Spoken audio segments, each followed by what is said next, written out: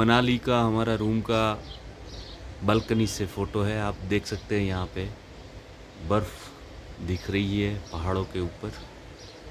बहुत बढ़िया सा व्यू है।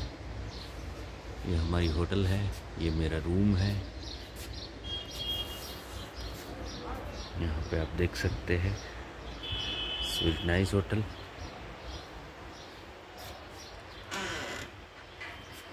यहाँ से पूरा व्यू दिखता है।